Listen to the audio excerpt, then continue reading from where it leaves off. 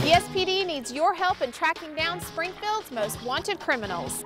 Paul Choate is a 41 year old black male, 5 feet 11 inches tall, weighing 240 pounds with black hair and brown eyes. He has tattoos on his arms, chest, back, and abdomen. He has claimed previous addresses in Springfield and still has ties to the local area. If you have any information on this fugitive, please call Crime Stoppers at 417 869 TIPS or online at tipsubmit.com.